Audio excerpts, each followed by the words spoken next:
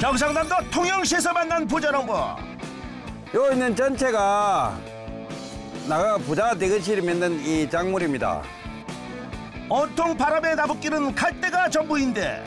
이게 깔대뿌리입니다. 갈대 뿌리? 깔대뿌리라고 한 거는 노지에서 천연 자연적으로 크는 게 깔대뿌리인데. 갈대 뿌리도 생소한데 심지어 부자를 만들어줬다 깔대 뿌리를 가지고 연 매출 1억을 올리는 황석태입니다.